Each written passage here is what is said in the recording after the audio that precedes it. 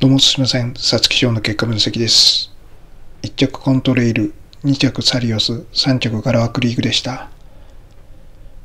まあ、とにかくコントレイルの福永騎手が最高にうまく乗ったなっていうような感じですね。まあ、福永騎手は、まあ、外国人騎手とかみたいに直線すごく終えるとかそういったことはないんですが、ただやっぱり立ち回りのうまいジョッキーで、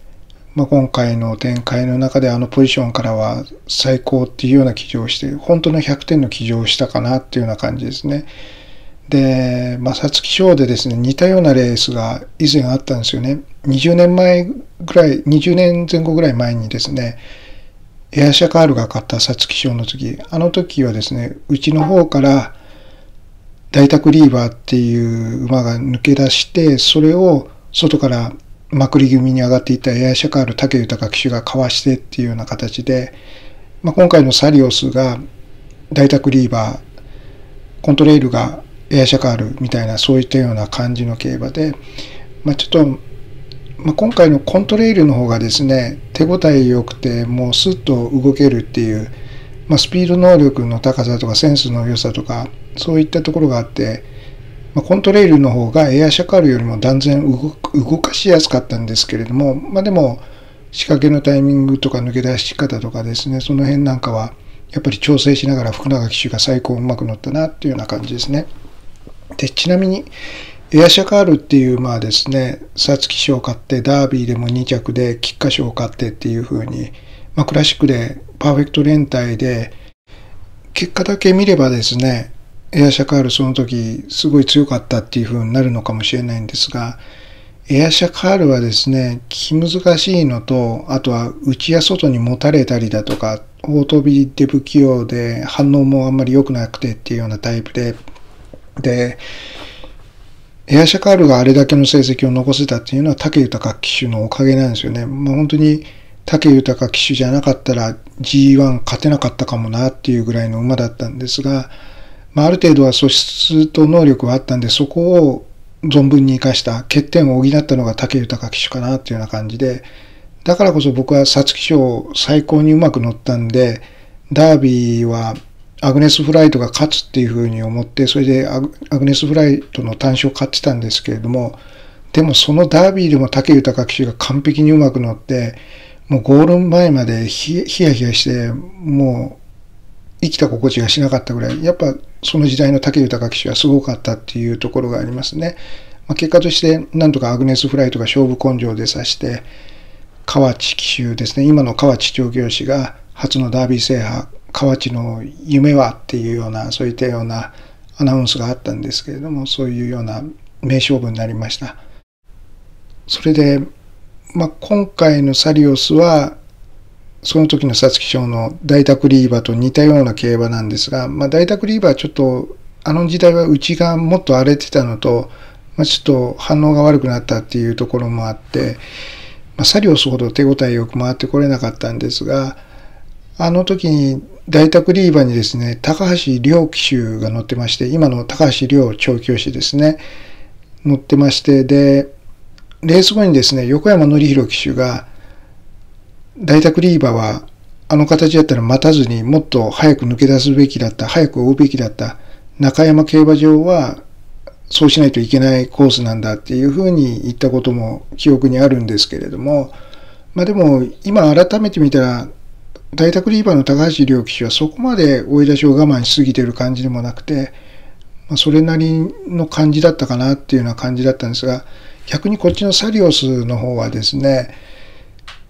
追い出しを我慢しすぎたというよりかは、まず先行馬たちがですね、進んでいかなかったっていうところがあったんですよね。もっと先行馬たちが引っ張ってくれてればですね、4コーナー前後とかででばらけたりだとか、早めにっていうような感じで、後ろの馬たちも外から追いつきにくかったとは思うんですけれども、やっぱり前の馬たちにある程度ペースを合わせて4コーナー回らなきゃいけなかったところで、で、空いた時にあそこで雑に一気に抜ければ完璧だったのかもしれないんですが、そこまではちょっとなかなか日本の中山競馬場のキャリアが浅いジョッキーでは難しいところがあるかなというような感じですし、あそこで空いたところで一気に仕掛けられるジョッキーっていうのは日本人ジョッキーでも1割もいないかなというような感じなので、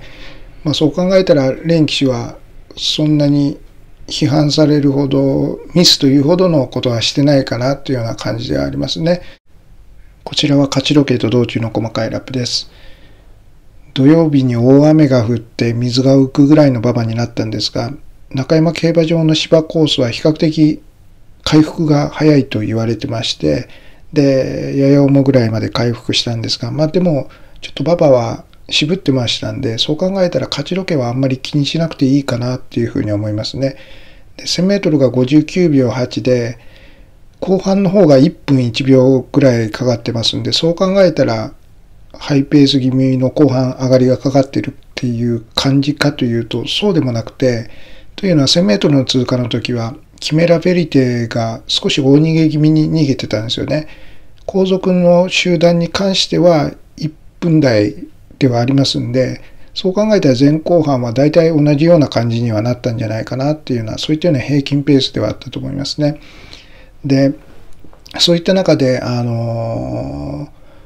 1000メートルから1200メートル、その辺ですね。で、1200メートルのところ12秒9っていう風にラップが落ちてますよね。ここのところで後続のウィン・カーネリアンの田辺騎手が差を詰めたような感じで、大逃げしてたキメラベリテが大逃げじゃなくなったところがこの辺ですね。この辺ちょっと上り坂に入るところでもあって、少しペースが落ちるというのもわかるっちゃわかるんですけれども、ただ、あの、基本的にはですね、やっぱり前半、全体的にワンペースにまとめた方がいい中で、ここは余計な形でペースを落としちゃったかなっていうような感じがあるんですよね。変に緩急つけちゃうと、逃げ馬先行馬が逆に不利になる傾向にもあるので、そういった意味で、まあ、馬場も渋ってて後続も苦しむ可能性があったので、この辺もうちょっとワンペースにまとめてペースを落としすぎなかった方が、キメラベリテなんかも有利に競馬進められた可能性はあったかなっていうような感じですね。というのは、一旦ペースを緩めてペースを落としてしまうと、そこからまた加速していかなきゃいけないっていう、そういう緩急って意外と能力の差が出やすい傾向にもあるんで、まあ、そこはちょっと響いたのかなっていうような感じがあって、キミラベリテは苦しくなって、で、まあ、やっぱりそこのペースを緩んだところで、ペースを緩めなかったのが2番手にいたウィン・カーネリアン・田辺騎手で、そこでじわっと差を詰めて、ウィン・カーネリアン以降に関しては比較的ワンペースにまとまってたかなっていうような感じではあるので、まあ、そういった意味ではウィン・カーネリアンがある程度いい競馬したっていうのは田辺騎手のその辺の隙のないような騎乗も良かったっちゃ良かったんですが、ただ意外とですね、4コーナー前後のところは綺麗に乗ったかなっていうような感じで、あの形だともうちょっと瞬発力があるタイプじゃないと苦しいような感じでもあったので、まあ、ちょっとウィン・カーネリアンの力を過信しすぎた部分もあったかなっていうような感じで、もっと玉砕的に早め早めに仕掛けてもよかったかなっていうような感じはあるんですが、まあでもほとんどの騎手はそういうことはできないので、田辺騎手がミスしたとかそういうことでもないんですけれども、まああとはラインベックですね。岩田騎手なんで、どっかのタイミングで早め戦闘とかで動く、もしくはベルトライゼンデあたりが動けるポジションにいたら、早めに動くみたいな、そういったような可能性あると思ってたんですが、結局はラインベックも動かず、ベルトライゼンデは馬群の中で動けずっていうような感じで、で、ウィン・カーネリアンも結局はそういうふうに綺麗に乗ったところもあって、その分意外とですね、全体的に他の馬たちもほとんどの馬がですね、4コーナーから直線の入り口までついていけるような展開になったんですよね。そこまで厳しい競馬になりきらなかったっていうところがあって、その分、馬群が密集して進路が開かないような状態が前も後ろもっていうような感じになったんですよね。僕のイメージの中ではですね、もうちょっとコーナーから厳しい競馬になる、もしくは4コーナーの手前から4コーナー前後、早めに仕掛けてばらけるとか、そういうようなのをイメージしてたんですが、結局はどの馬もなんだかんだ言ってある程度ついていける、ある程度手応えいいから馬群が密集するみたいな感じにはなったので、そういう意味でもコントレールの福永騎手が早めに外に出して外から動いていったっていうのもこれもすごい好騎乗だったかなっていうような感じではありますしまあコントレイル本当に手応え楽に回ってこれた理由っていうのもそういうふうに他の馬たちも手応えよくある程度回ってこれるレベルであったからこそ外回ってもああいう風にスッといけた部分もあったかなっていうような感じで、まあ、根本的にコントレイルは完成度が高くてスピード能力も高いんですけれどもそれプラスちょっと動きやすいそこまでの高いレベルのレースでもなかったっていうところもあったと思いますね。それでは右の方から1頭ずついきます。コントレイル。まあ、コントレイルについては、まあ、とにかく福永騎手の好騎乗もあるんですが、まあ、そういうような競馬をできるだけの能力とセンスがコントレイルにもあったということで、まあ、とにかくこの馬は完成度が高くて、レースセンスが良くてスピードがあるっていうような感じですね。で、一本上司ではなくて直線もそれなりの素足があるっていうような感じで、まあ、やっぱり馬体なんか見てても瞬発力タイプかというとどちらかというとスピードとセンスっていうような感じの馬ではありますね。それで、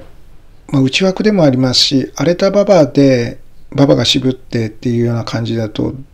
どうかなっていうような感じは思ってたんですけれども、まあ、スタートは出たんですが進んでいかなかったこの辺なんかもやっぱり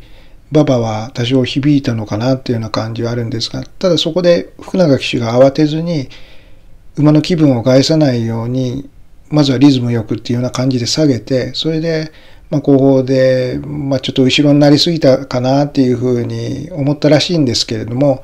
まあ、そこからの乗り方についても落ち着いて馬の力を信じて、スッと勝負どころから外から動いていくっていうような感じですね。まあ、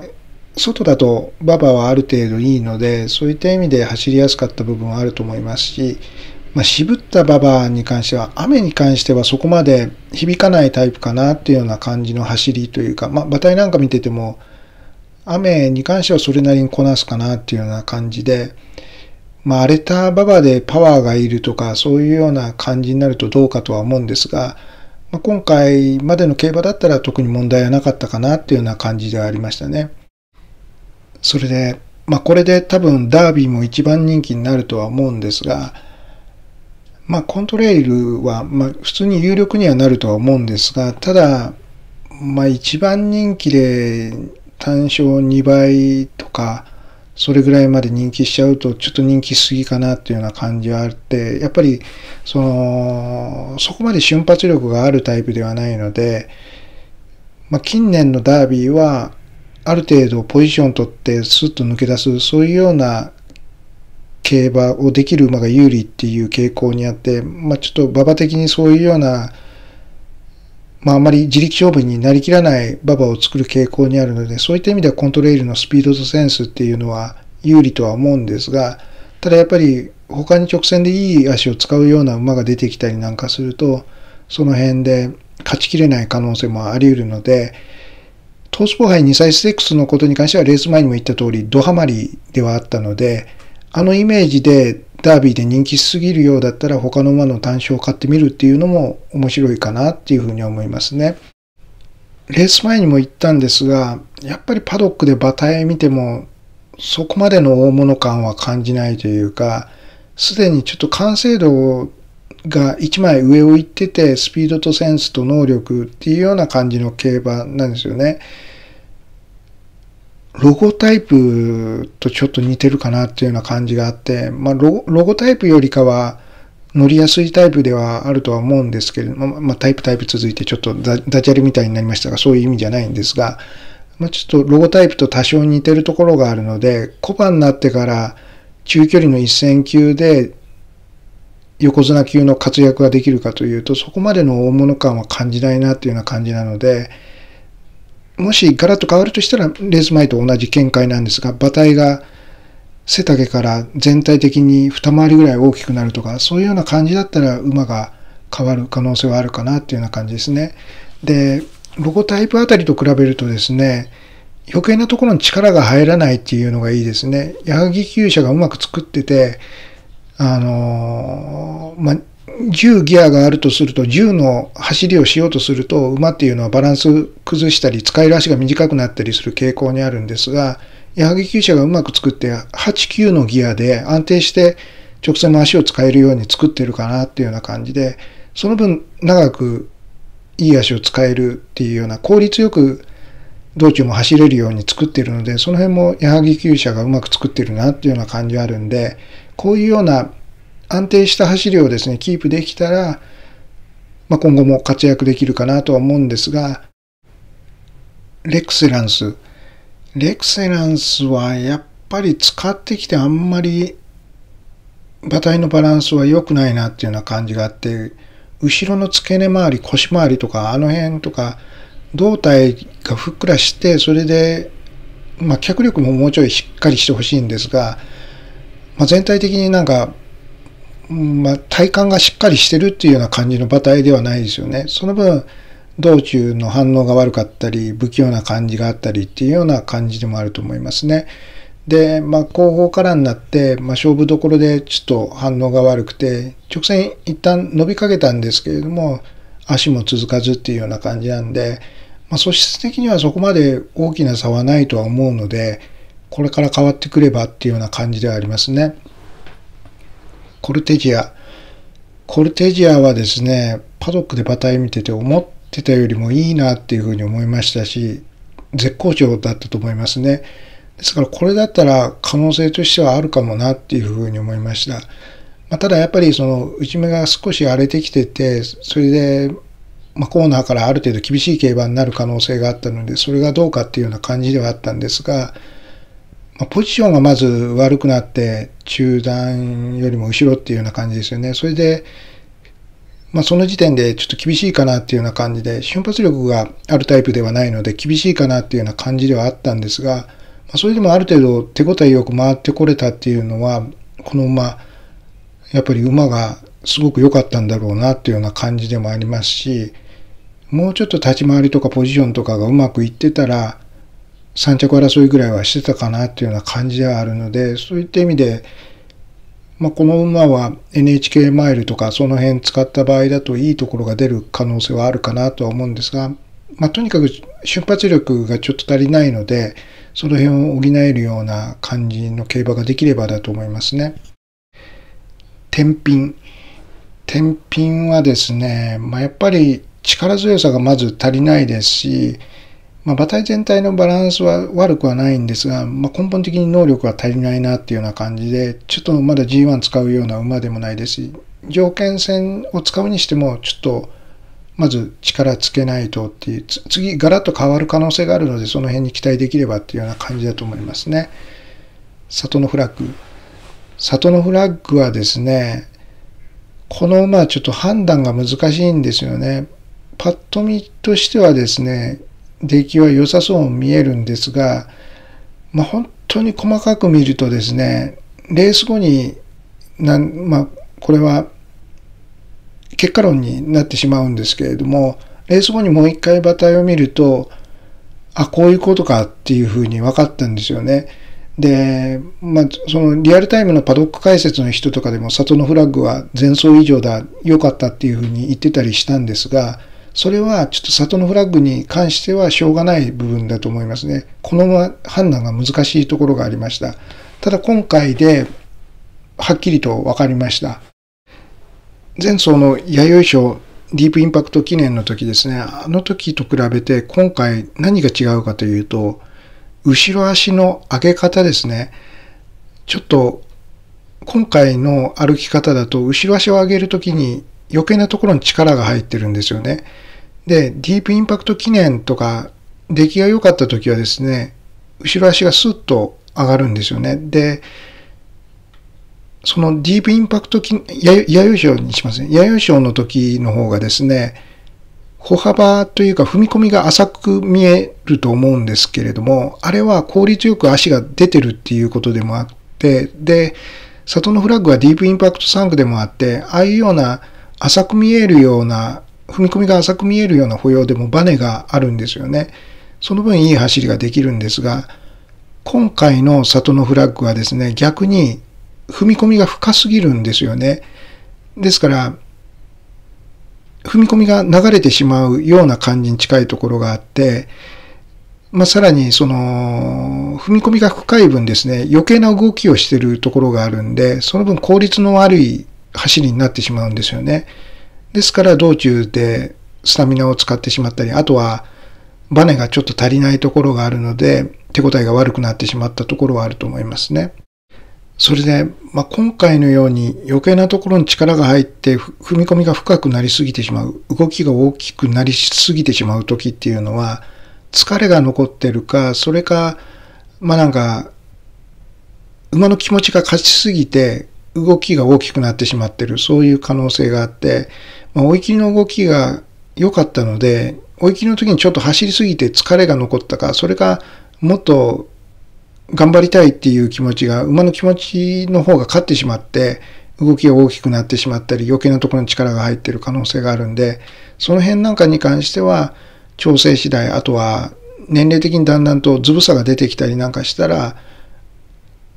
こういう感じではなくて安定してある程度良くなる可能性もあるかなっていうふうに思うところはありますね。ですから、まあ、今回は根本的にまず能力が足りなかったっていうところもあるんですが、まあ、そこを補うために、例えばもっと後ろからですね、楽な競馬をしとけば少しは違ったかもしれないんですが、中段ぐらい、中段よりも前ぐらいから、ある程度いいポジションから競馬をしたことによって能力が足りなくなってしまったところもあったかなっていうような感じではありますね。まああとは、そうですね、今回の馬体だと距離が長かった可能性もあるかなっていうような感じで、まあ、効率よく足がたまらないっていうところもあるんで、マイルぐらいの方が走りやすい馬体ではあったのかなっていうような感じでもありますし、もしかしたら今後は作り方によってはマイラーになっていく可能性もあるタイプではあるかなっていうふうに思いますね。まあ、うまく馬体がゆったりと成長していけば、中距離でもっていうような感じになるとは思うんですけれども、で、まあ、さっきも言ったんですが、とにかくこの里のフラッグに関しては、なかなか判断が難しい馬体してましたし、今回に関しても僕みたいに気づく人はあんまりいないかもしれないので、とにかく今回の里のフラッグは判断が難しい馬ではあったので、まあでもですね、パドックでですね、里のフラッグとサリオスを比べたら、サリオスの方が断然上って分かりますし、コントレールとサリオスを比べても、サリオスの方がちょっと上って分かる。これ、この辺は結構はっきりと分かるところではあるんですが、ただ、里のフラッグとコントレールに関しては、今回どっちが上かって判断するの結構難しかったと思うんですよね。ただ、そこの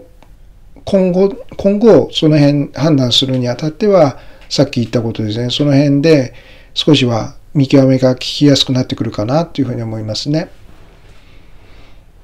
ディープボンド。ディープボンドもやっぱりそれなりに素質あるなっていうふうに思いますし、馬体なんかもいいですね。ただやっぱりところどころ力強さが足りなかったりだとか、あとは追い切りで左右の足が揃っちゃったりだとか、そういうような飛びが大きくて不器用っていう、まあ大久保厩舎によくいるタイプの、そういう作り方をしてしまう厩舎なのかなっていうような感じで、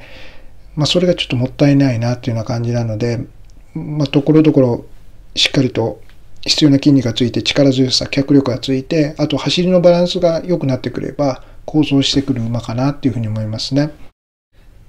サリオス。サリオスについては最初に話した通りで、まあ、今回はまずコントレール福永騎手は最高にうまく乗ったっていう中で展開のあやがありました。で、やっぱり基本的に前にいる馬っていうのは後ろの馬たちよりも先に先に仕掛けたりだとか、競馬を有利に進めなきゃいけない中で、そういった中でサリオスの前にいた逃げ馬先行馬たちが、4コーナー手前から4コーナー前後引っ張りきれなかったっていうところで、そこの競馬に乗っかるしかないポジションにいたのがサリオスで、まあ、そこで溜めながら、まあ、ちょっと4コーナーは早め前が空いたんですが、あそこで雑に仕掛けると足が持たないとかそういうイメージがあったのかもしれないんですけれども、このサリオスっていう馬は朝日杯フューチュリティステークスなんか見てても、追い出してちょっと加速に時間がかかって、まあ、ずぶいところがあるので、そういった意味では、あそこは多少雑にでもですね、早めに一発でも無知入れて、早めに抜け出すみたいな感じでも良かったかなっていうような感じで、やっぱり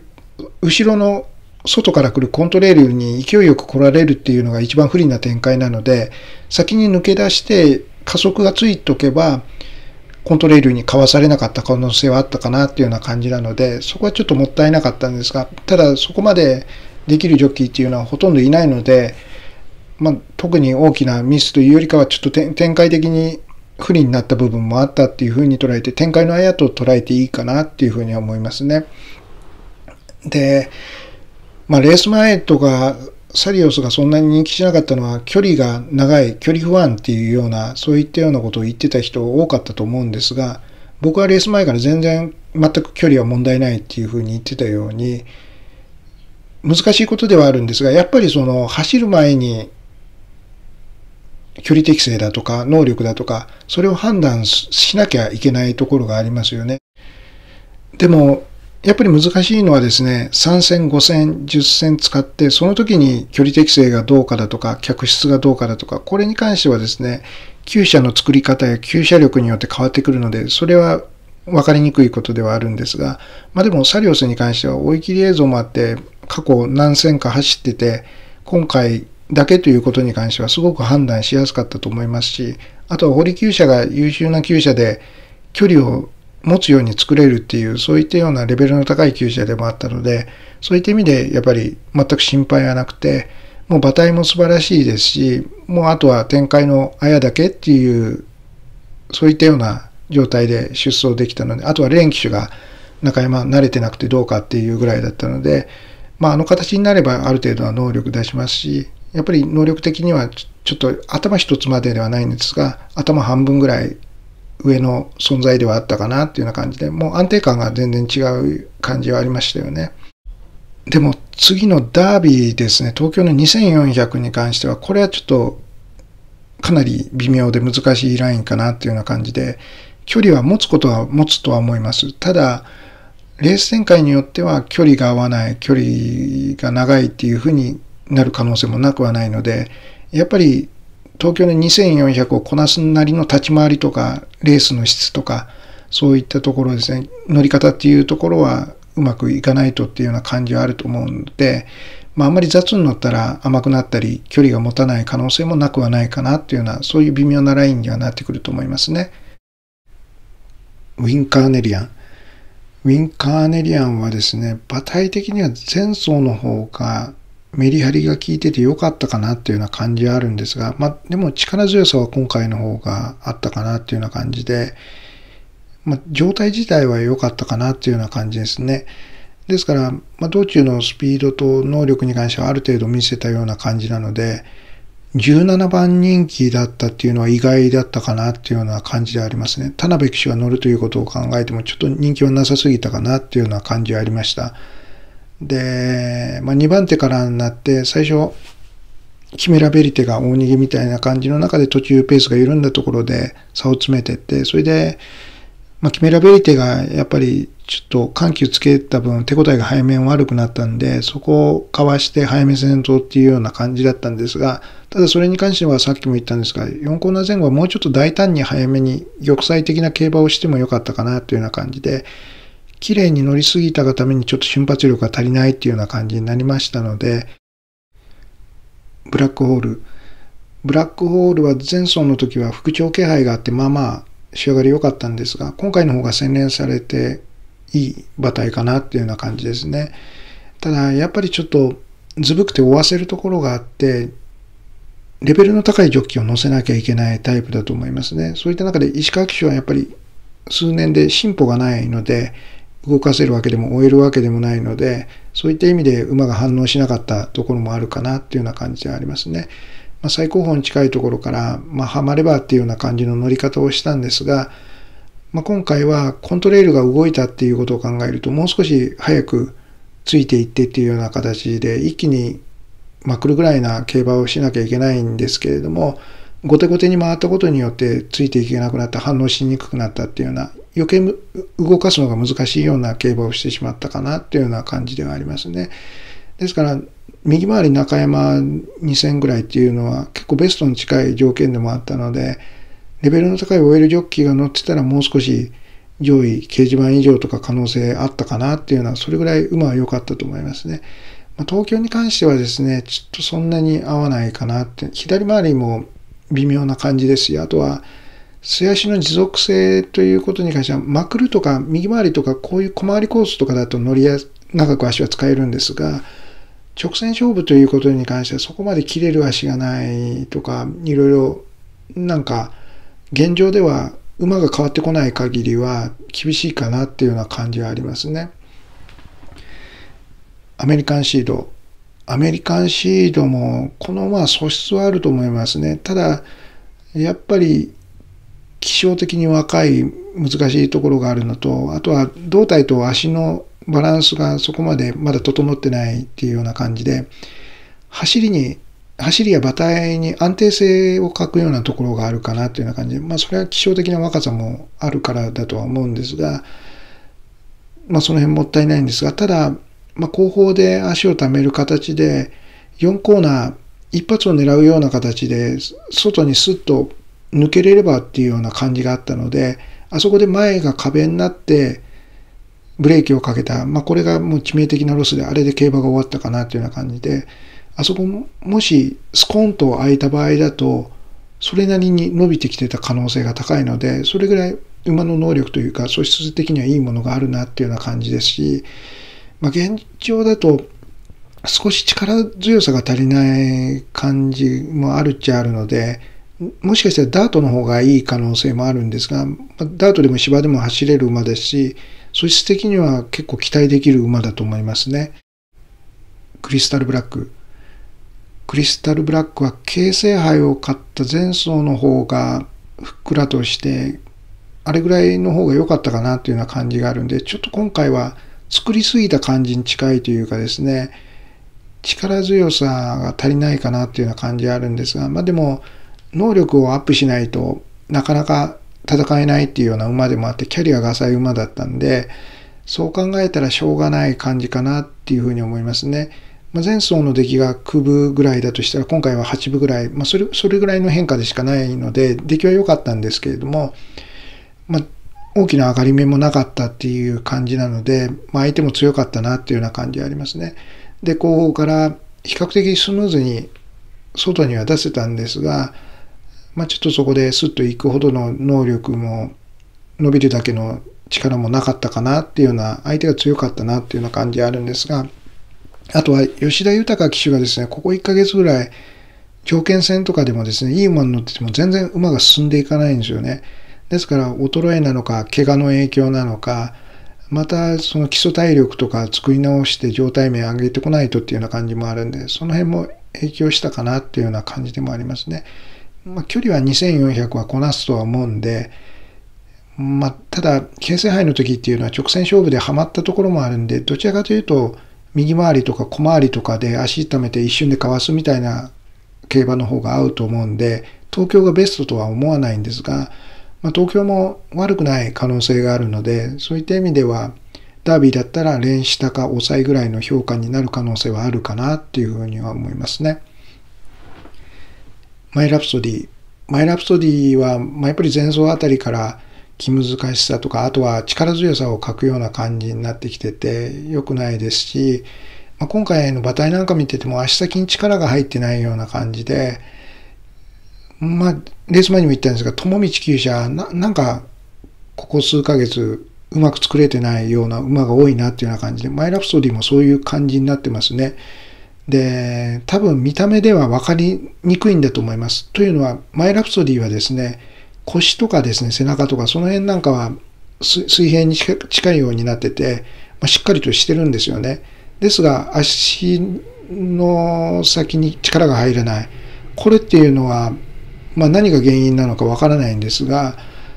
まあ、脚力もちょっと落ちてるとは思うんですが、なんかパッと見的にはしっかりしてるのに、足先に力がいかないっていうような感じなので、この辺なんかどう調整すればいいのかはちょっと僕はわからないので、どうすればっていうような感じですね。やっぱり足先にですね、自然と力が入らないということは、それだけ効率よく走れなくて、スタミナも消耗してしまいますし、まあ、今回中段から競馬をしたんですが、仕掛けても進んでいかないような感じですね。もともとずるくて反応悪いところはあったんですけれども、不器用な感じはあったんですが、それにしてもっていうような感じで、そこをケアケアをしようとして武豊騎手を背面仕掛けたのに行かなかったから、そのうちに後ろからコントレールに外からかぶされてっていうような競馬で終わったような感じですよね。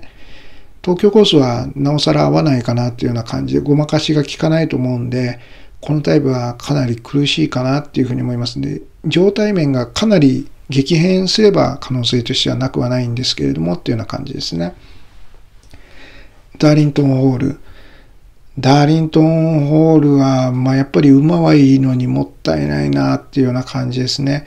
まあ、ミルコ・デムーロ騎手が本当に中途半端な競馬をして、まあ、直線伸びてきてるんですがロス、ロスが大きすぎてっていうような感じですよね。で、まあ、立ち回り的に例えばどっかで内に入れて4コーナー前後でもロスなく立ち回ってスコーンとどっか出せば馬券になってた可能性があるぐらいそれぐらいの馬なんで、まあ、単純な馬の能力でいくと上位4頭には確実に入ってたかなっていうような感じなので、まあ、3着以内全然狙える範疇だったかなっていうような感じですね。それで、まあ基本的にはですね、外差しは効くような馬場ではあったので、展開でもあったので、まあ、後方から外を回るのもそこまで極端に悪くはなかったんですが、ただ、ミルコ・デムーロ騎手のそのタイミングの悪さみたいなのが今回も出て、一旦ですね、先にちょっと動こうかなっていうような感じの仕草したら、そしたらコントレールが動いてったんで、そこで一旦馬をブレーキかけて止めたんですよね。で、そこが余計で、コントレールが上がっていったということは、コントレールについていかなきゃいけない中で一旦ブレーキをかけたら、そこからまた加速しなきゃいけない、ついていかなきゃいけないっていうところで、これが良くないんですよね。逆なんですよね。ダーリントンホールが先にその行ける準備をしておいて、加速ついてる中でコントレールが動いたらそこについていく。ダーリントンホールももともと加速しようとしてたわけですからついていきやすいんですが、ブレーキかけちゃってるから、勝負どころでついていけなくなったり、無駄な足を使ってしまうっていうのがあるんですよね。まあ、その辺なんかミルコ・デムの騎手、中途半端な時に動いて、それで、レースの後半は仕掛けが悪くて、ロスが生じるっていう一つのパターンなんですけれども、そういう形に近くなったかなというような感じがありますね。前走までダーリントンホールにはルメール騎手が乗ってて、ダーリントンホール、ワーケア、クラシックで乗るのはどっちがいいかということで、その時に僕はダーリントンホールの方がいいんじゃないかっていうふうに言ったんですよね。それはワーケアは左回りは得意なんだけれども、右回りがあんまり得意じゃないっていうところがあって、逆にダーリントンホールは右回りでも左回りでもいけるタイプなので、やっぱり今回の皐月賞もチャンスだったんですよね。そういった意味でルメール騎手が乗ってたらだいぶ違ってたと思いますし、キメラベリテ、まあ、キメラベリテは仕上がりとしてはほぼ同じような感じだったんじゃないかなっていうふうに思いますね。まあ、最初にラップのところで話したようにですね、途中で変にペースを落としてしまって緩急をつけてしまったんで、その分後半スピードアップしてそのスピードを持続しなきゃいけないというところで、うちも馬場も良くないですし、そういう中で、まあ、苦しくなったかなっていうような感じではありますね。ですからペースを落とさなかったらワンペースの方が競馬しやすい馬は多いので、そういう逃げの方が良かったかなと思うんですが、まあ、ただそれでも力的に厳しかったかなというような感じはありますし、まあ、だいぶ大逃げでノーマークとかじゃない限りは苦しかったんじゃないかなというような感じでありますね。ラインベック。ラインベックも友道厩舎なんですけれども、この馬に関しては比較的バランスはいいと思いますね。まあ、ただやっぱり大きな成長もないというか、脚力とか能力的な上昇がそんなにないかなっていうような感じで、で、まあやっぱりもともとずぶくて不器用、大飛びでかなり不器用で、必ず4コーナー手前から4コーナー前後反応が悪くなるっていうような感じなので、そういった意味で今回岩田騎手に乗り換わるんで、どっかで早め先頭とかそれぐらいな大胆なまくりするかなっていうふうに思ってたんですけれども、行為の外回って、そのまんまずるずるっていうような感じですよね。手応えがないと感じたのかわからないんですけれども、その辺がどうなのかなっていうような感じがありましたね。まあ、東京コースがいいっていうタイプではないんですが、ただ東京コースの方がコーナーからペースがそんなに厳しくならないので、ならないことが多いので、そう考えたら少しは乗りやすくなる可能性はあるんですが、まあ、やっぱり瞬発力もそんなあるタイプではないので、まあ、掲示板狙う乗り方ならどっかでまくったりしたらいいいところが出る可能性はなくはないかなというような程度で考えてますね。ガロアクリーク。ガロアクリークはですね、この馬なりに仕上がりは良かったと思うんですが、ただ、あのー、ちょっと全体的に軽すぎるところがあるんですよね。ですから、その軽さからですね、道中足使ったり、勝負どころで足使っちゃったりして、足がたまらない可能性あるかなっていうふうに思ってたんですけれども、でも、まあ、馬場がちょっと渋ってたのも、足がたまりやすかったのかなっていうような気でも、気がしないでもないですし、あとは、中段行為、中段ぐらいですかね、中段ぐらいの馬群の中で前に壁を作って足をためれたなっていうような感じで、まあ、それで、さらにですね、4コーナーのところですね、そこで前の里のフラッグとかコントレイル、多分有力だと見てヒューイットソン騎手目標にしてたとは思うんですが、そこの後ろからついていけたっていうことですね。やっぱり手応えのいい馬とか、あとはビクトリーロードに近い馬についていくっていうような形がはまりやすいパターンなので、やっぱりそういう進路取りがまあ、内目から外へっていうような進路取りがはまった部分もあって、まあ、ガロアクリック自体も状態も良くて足も溜まりましたし、まあ、ヒュイットソン騎手も技術的なレベルも高いジョッキーですんで、そういった意味でははまった部分があるかなっていうような感じではありますね。で、まあ、ヒュイットソン騎手に関しては、まあ、レース前にも言ったんですが、まあ、ちょっと早仕掛けが多かった時期と比べてだいぶ待てるようになってきましたし、今回も焦らず、余計な動きもしなかったですよね。この辺なんかヒューイットゾン騎手の成長というか、日本の競馬に慣れてきたなというような感じがありますし、まあ、東京コースも比較的良さそうなタイプのジョッキーではあるんで、東京コースに変わっても注目は必要かなというような感じでありますね。ベルトライゼンデ。ベルトライゼンデは、まあ、ちょっとまだしっかりしてないというか、成長途上だなっていうような感じはあるっちゃあるんですが、やっぱり馬っぷりはここでは上位5頭には入ってるなっていうような感じで、そういった中でこの馬は、まあ、とにかくずぶくて追わせるところがあるのと、あとはスパーンと切れるタイプではないので、ポジションが悪くなって、行為のごちゃごちゃしたところで身動きが取れずっていうような感じで、ああいうような競馬になったら持ち味が生きないですし、例えばムーア騎手とかスミオン騎手とか、まあ、外国人ジョッキー、他の外国人ジョッキーとか、オイルジョッキーとかだったら無理やり動かしてっていうような感じの競馬はある程度できるとは思うんですが、まあ、それでも今回の展開だと外差しの展開なんで、ああいうふうに内で押し込まれて、4コーナー前後は前は空いたけれども、あそこから一気に加速してっていうほどの瞬発力はないですし、展開的にも内から追い込めるような展開でもないので、まあ、本当にちぐはぐな競馬で能力を出し切れなかったなっていうような感じではありますね。池添騎手は、まあ、たまにまくったりだとかそういうような好騎乗する時があるんでそういうのを期待してたんですが、まあ、変に中途半端乗りすぎたなっていうような感じで、まあ、多分展開的に前が引っ張ってくれてどっかでばらけたらそこで背面動こうとかそういう思惑だったとは思うんですが馬群が結構密集した状態で進んだところもあるんでそれで、ま展開的にその悪い方向をチョイスしてしまったっていうような感じではあると思いますね。とにかくベルドライゼンではですね、これだけ着差がついてても能力差はそんなにはないので、東京コースだとやっぱり池添騎手のそのまくりとかそういうような感じがはまる可能性がガクンと落ちてくるので、そう考えたら外国人ジョッキーとか OL いいジョッキーを乗せてっていうような形だとベルトライゼンではある程度ポジション取る競馬もできるので、この馬に関しては穴馬候補の一頭として、ジョッキーを、ジョッキーが変わってくればですね、まあ、日本人ジョッキーでも終えるようなタイプが変わってくれば楽しみがあるかなっていうふうに思いますね。1年後、2年後とかに化ける可能性もあるということで、まだ未完成な部分なんかもちょっと未知の魅力で、ダービーまでに良くなってるかどうかっていうところは注目点かなというような感じでありますね。ビターエンダー。ビターエンダーは、まあ、前走の方が共同通信杯の時の方が良かったっちゃ良かったんですが、まあでもそれなりの仕上がりにはあったかなっていうような感じで、で、まあ、この馬に関してはですね、もし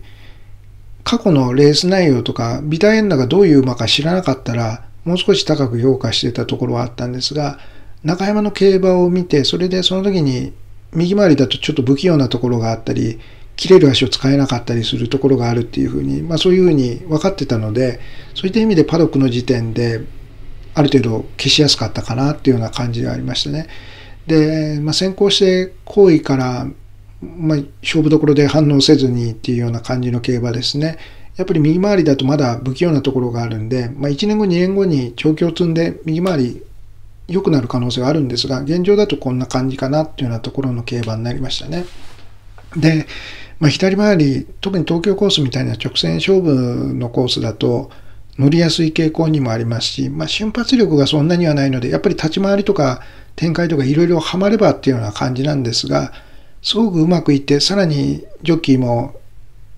いい競馬ができればですね、もしかしたら馬券になる可能性はなくはないかなというような感じですね。掲示板候補の一頭にはなってくる馬ではあると思いますね。以上です。失礼します。